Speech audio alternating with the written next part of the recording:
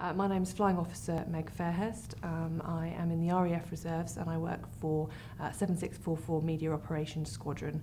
We're a squadron of professional journalists, uh, professional PR execs, photographers and videographers. As an MNT leader, I'll be in charge of a small team. That team um, could include anything up to a writer, a videographer and a photographer.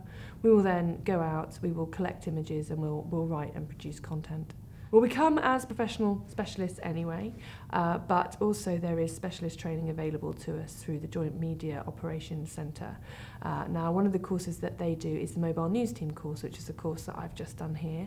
The aim of the course really is to get the uh, Mobile News Team members to all understand each other's roles, as well as um, honing their own skills. So that will cover news writing, how to write a good story, um, and that will also cover things like how to put together and plan a video. So looking at how to put together a shooting script, um, how to edit for social media, how to then go out and film, um, and all of those kinds of things. So it hones those different skills and it enables everybody to see how everybody else works within the mobile news team in order that people can, can sort of work together more effectively. The project that we created for this mobile news team assessment focused um, on RAF recruits as they go through their initial training, which turns them from a civilian into military personnel. So it's their military training, it's militarisation skills. Um, and it's all done in a hangar at RAF Halton. What was particularly interesting for me was that as an RAF reservist, I went through that same training back in 2011 and I hadn't been back into the hangar since then. So it was quite exciting to go back in there um, and see what the, uh, the regiment are doing um, as a part of the training. My name is Corporal Ashley Webb. I'm a Phase 1 instructor. All the drills that we do here at Halton are to do with their basic needs. So we teach them first aid, CBRN, rifles, and then we teach them tactics and drills in the field.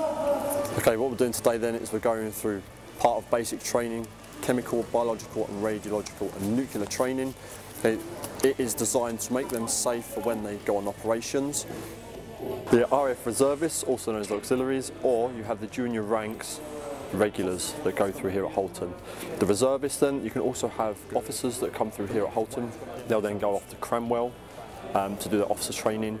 The regulars, they can go off into their chosen trades. Everybody up and help each other.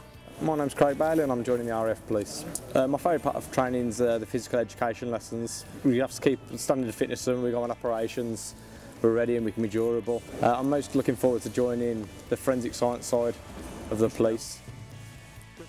My name is Charlotte Stars and I'm going to be an aircraft mechanic. I'm finding my training really good, really challenging, it's pushing me to my limits which I'm really enjoying. I'm really looking forward to actually doing my job, so learning more about engineering as an aircraft mechanic and kind of getting my hands dirty and getting into the aircraft. Um, I'm also looking forward to travelling like around the world, seeing different bases and doing different operations.